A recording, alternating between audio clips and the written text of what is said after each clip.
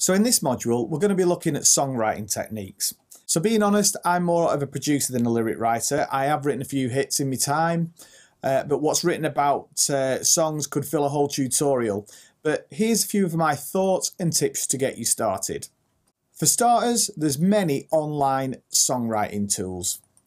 There are many sites where you can find tools on sale to help you write lyrics. There's online thesauruses and dictionaries if you need to come up with some uh, rhyming couplets if you want a certain word to rhyme with something or uh, thesaurus to give you a different meaning for a different word or a different uh, uh, interpretation. And there's even sites that write a whole song for you, which I kind of find unbelievable, but you never know. You can try these things out. There are also some hidden gems in the App Store that I've found for writing, two being Liptikl and WordPalette. They both adopt a cut and paste approach to writing lyrics, and very similar to the late David Bowie's approach, where he used to write down words, cut them up, and jumble them around to find random lyrics. While many of these tools are pretty much the easy way to try and write a song, they're not often the best, and there's nothing more satisfying than picking a title for a song or subject, sitting down, and actually writing about it from the heart.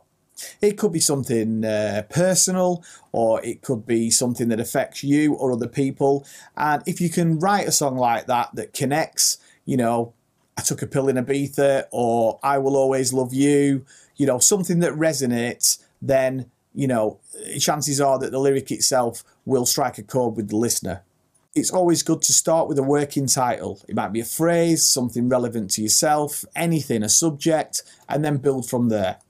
You only have to have a look through today's charts to see the vast difference in songs, how they're written. Some are traditional, where they have a verse, bridge, chorus.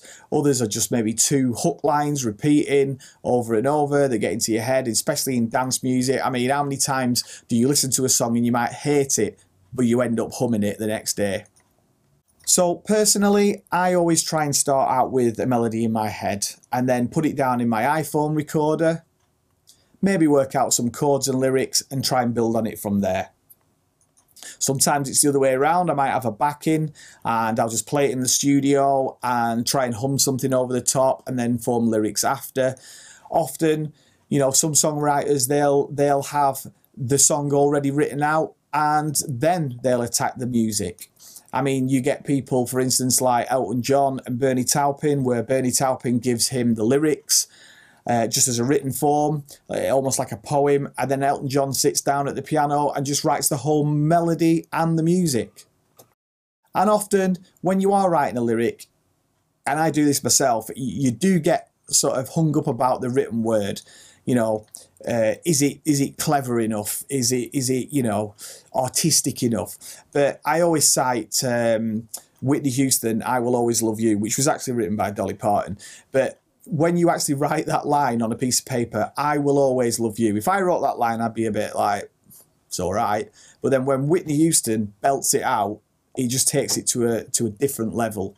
So when you've got the, you know, often it's how the singer sings the song, you know, with the written lyric, the melody, and the song itself. If you've got all them three things in place, you know, you may be in for something spectacular. So sometimes the thing that sells an actual song might not always be the lyrics. It might be the melody, it might be, you know, the actual track itself, you know, the, the, the actual melody might be an afterthought. So there's so many factors to songwriting um, and there's not one approach that is the best i'm just trying to give you some tips ideas and just some things to think about and the other thing to consider is you know sometimes you might write a song in a day you might write the song in half an hour some of the best songs in the world have been written in sort of half an hour other times might be a monthly process you might sack it off i don't know how many times so you know, if it's, if you're trying to write a song lyric and it's not quite working, go and have a break. Go and write another song. Go and think about something else. Go and watch some TV. Go and read a book. Something that'll inspire you, empty your mind, and then you can progress.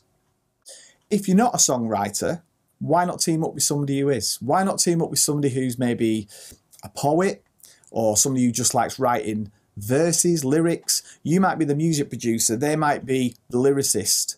So that could be a really good working relationship.